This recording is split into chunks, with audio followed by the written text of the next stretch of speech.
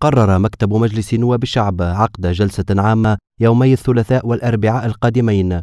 ستخصص لمناقشة مشروع القانون المتعلق بالإبلاغ عن الفساد وحماية كاشفيه وأكد رئيس مجلس نواب الشعب محمد الناصر عقب اجتماع مكتب المجلس اهتمام البرلمان بموضوع مقاومة الفساد الذي يشغل الرأي العام الوطني من خلال التسريع في المصادقة على مشروع القانون وإقراره في الجلسة العامة.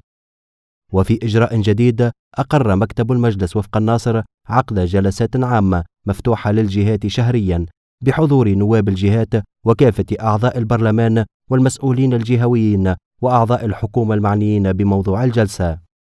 وستعنى هذه الجلسات العامة التي سيشرع البرلمان مبدئيا في عقدها قبل موفى الشهر الحالي لفائدة ولايات الشمال الغربي بالتنمية والمشاكل التي تعاني منها الجهات الداخلية على أن يقع الإعداد لها مسبقا من طرف نواب الجهة وما يتلقونه من أسئلة واستفسارات في إطار أسبوع الجهات.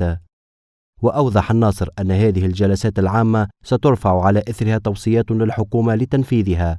وستكون محل متابعة من البرلمان في إطار ممارسة دوره الرقابي على عمل الحكومة. كما قرر المكتب تبعا لمراسلة من رئاسة الحكومة حول المشاريع ذات الأولوية إحالة مشروع قانون الطوارئ الاقتصادية الذي يهدف إلى التسريع في إنجاز المشاريع العمومية الكبرى في البلاد إلى لجنة المالية مع طلب استعجال النظر فيه.